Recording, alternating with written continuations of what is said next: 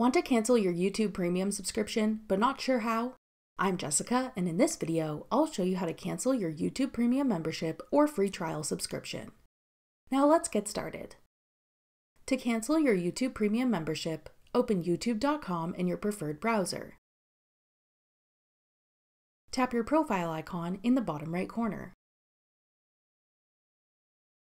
Then tap the settings icon in the top right corner. Select Purchases and Memberships. Tap YouTube Premium.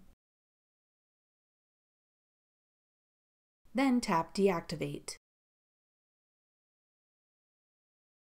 In the pop-up, tap Continue to cancel. To confirm, tap Yes Cancel.